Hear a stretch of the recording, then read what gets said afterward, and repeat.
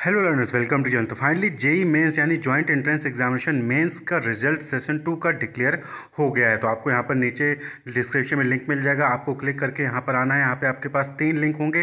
तीनों में से किसी भी लिंक पर क्लिक करके जो है आप अपना रिज़ल्ट चेक कर सकते हैं। लिंक पर क्लिक करते ही आपको दूसरे पेज पर लेके जाया जाएगा, जहाँ पर आपको अपना application number date of birth और सिक्योरिटी पिन जो नीचे दिया गया है two T seven eight eight Y ये जो चेंज होता रहता है तो आपको इसको फिल करके सबमिट करना और अपना रिज़ल्ट आप चेक कर सकते हैं। और उसी रिज़ल्ट में आपको जो है एडवांस का कट ऑफ़ भी मिल जाएगा कि एडवांस के लिए क्या कट ऑफ़ गई है। तो जेई मेन सेशन टू का रिज़ल्ट डिक्लेयर हो गया है। Wish you all the best. की पहुँचे